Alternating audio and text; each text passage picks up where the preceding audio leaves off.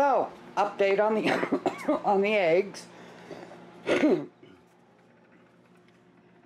I'll give you a peek and then I'm going to close it real quick. And note any changes I've made. So, water bottles. They're like a heat sink. They help stabilize the temp. Um, the more mass in the incubator that, that has the heat, holds the heat, makes it more stable. There is large fowl cochin, large fowl cochin. Back there, Jubilee Orpington.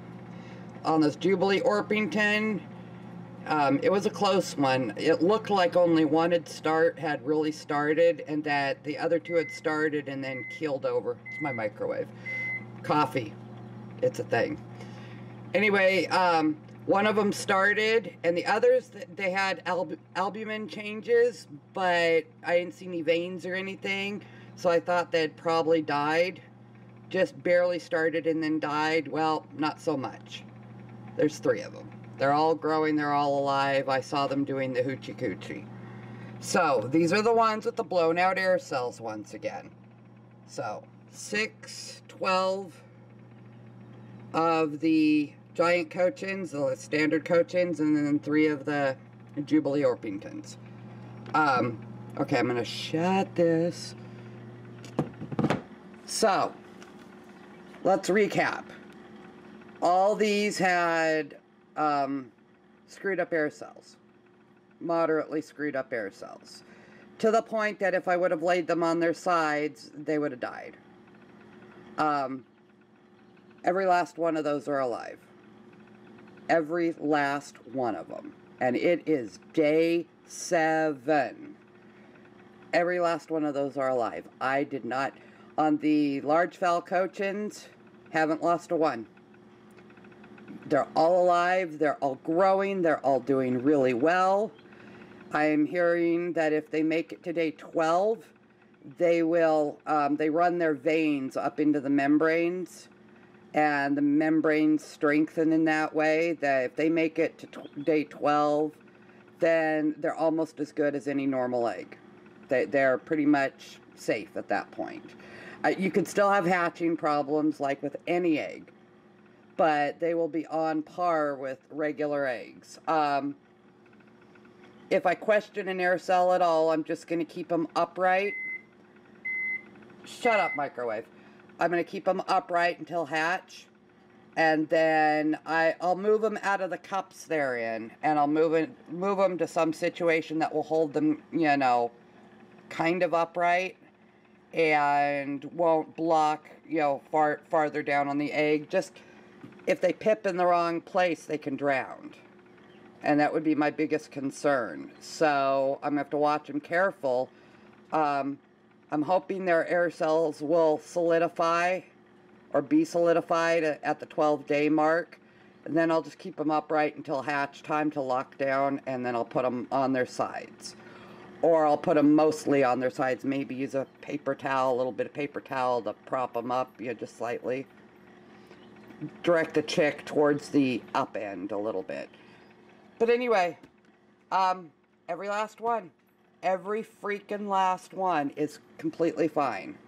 I cannot believe it. I did not know this trick. I don't know why nobody told me this trick before now. Um, they're fine. Every last one. I haven't lost a one. These are shipped eggs with the air cells all screwed up. I haven't lost a one. They all started, so their fertility was good when I got them. They all started, and it's day seven, and they're still kicking around happy. So I may actually, as long as that, you know, I have the humidity right, the hatch, you know, hopefully will go well. Maybe I'll lose one or two, but I'm, other than that, the hatch will go well. I'll have a, a crap load of these. And then there's the regular incubator. Oh, changes. Changes to the situation. I'll pop this open a little bit. You'll see several goose eggs in there. Yeah. And there's my large fowl cochin.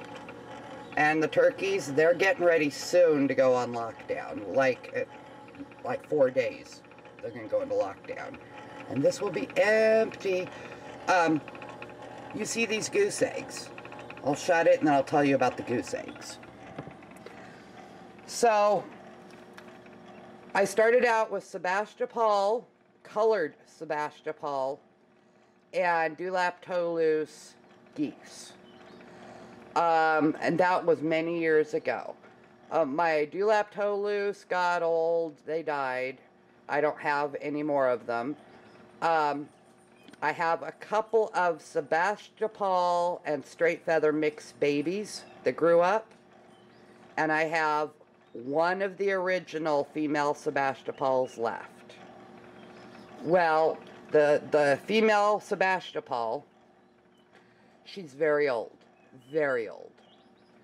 Um, I wasn't going to incubate geese. But the parents outside, the mixed daughters, the, the half Sebastopol, um, in some instances half dewlap, you know, half other things.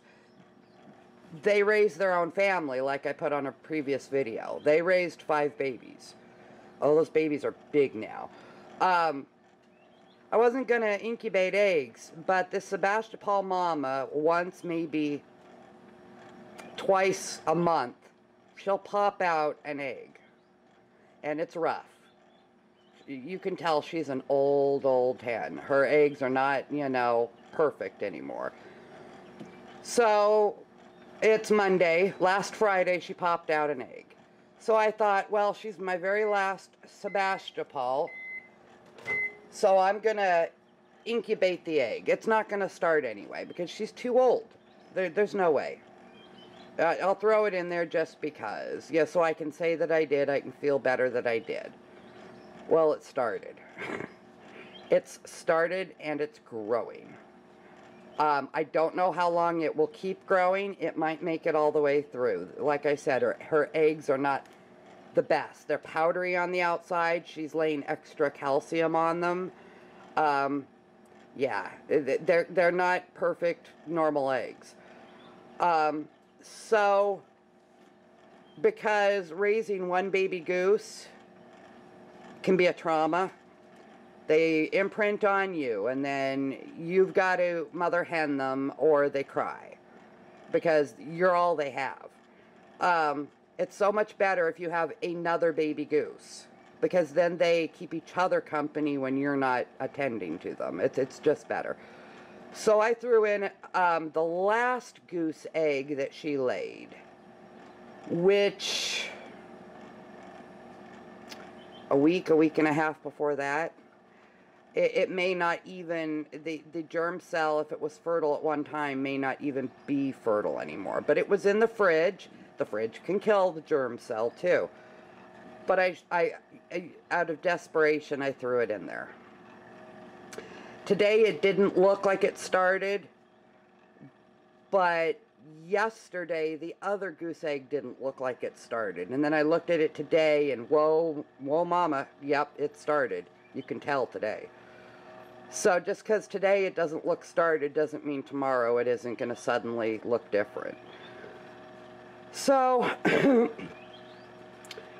I yanked out, I, have had, I've got, oh, three or four over, you know, the last six weeks, I guess.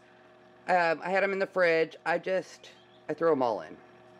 It just, it, it, this method of incubation is called properly. There's a name for this method of incubation. It's called the throw it against the wall and see if it sticks method. I put them all in. Probably none of the ones from the refrigerator will start but they might. I've, I've taken chicken eggs from the grocery store, brown chicken eggs that I bought at the grocery store that sat in my fridge for a prolonged period of time, you know, over a week. I've taken them and put them in the incubator and they've started and grown. So, it's worth a try. So anyway, I might have baby geese. Um, if it's only one baby goose and it goes to term and it hatches, please, dear Lord up above, can you please make it a male? because males cover several females. Um, I, if I can get his his genetics going on the babies of the hens this year, they've all got Sebastopol in them. If I can get him going on them, we're gonna get more Sebastopol babies. We are. So anyway, that's the update on the eggs. We have, we're a third of the way through. We have 15 more days to go. So I guess I'll do another update, no, day 12. So in about a week, I'll, I'll do another update and let you know if their air cells have solidified, what I found. Right now, some of them look pretty stable, the air cells. Some of them are still wiggly. So, um, I'll let you know on day 12 what they're looking like and what the plan is going forward. But holy crap, this is a revolution. This is a freaking revolution. I did not know this. Why did why did I not get the memo? Uh, it's horrible. Oh, by the way, another tip. Um, I heard this from somebody else. This is a patented process for hatchery eggs you spray mist or dip them in hydrogen, pro in hydrogen peroxide, 3% dilution, before you set them in the incubator. And you can also do it just prior to hatch when you put them on lockdown. Um, it, this is actually a patented process for hatcheries to increase health and hatch rates. And it works, apparently. Well, that hydrogen peroxide in your bathroom, guess what? It's 3% dilution. So um, I've all these eggs, every last one of these eggs got sprayed with hydrogen peroxide really well before they were put in the, in the incubator. Um, so that's another tip for you. Third tip for you. I just found, I get these memos late. Nobody tells me these things. The chicken gods do not impart this knowledge to me on time. I just found out that the light on my cell phone, you know, on the back of the cell phone, you hit the light button, the flashlight button, and the light comes on. It's perfect for candling eggs. Who would have thought?